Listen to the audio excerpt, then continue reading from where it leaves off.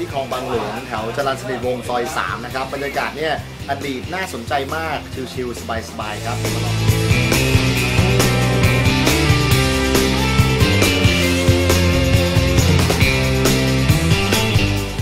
ร้านนี้เนี่ยนะครับอยู่ตั้งแต่ปากทางเข้าเลยนะครับมีของเก่ามากมายเดี๋ยวมาดูกันว่ามีอะไรบ้างครับ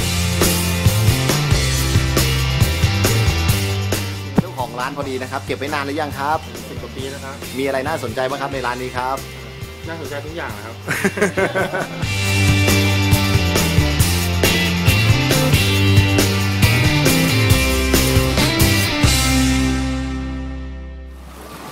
คุณพี่คนนี้นะครับเป็นสัญลักษณ์ของคลองบางหลวงนะครับ นั่งอยู่ประจำคอยต้อนรับผู้มาเยือนครับ